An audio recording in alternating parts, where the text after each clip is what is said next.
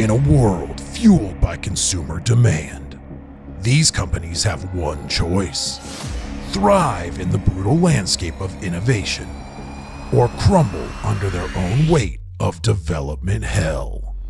The only way to survive is to get everything right.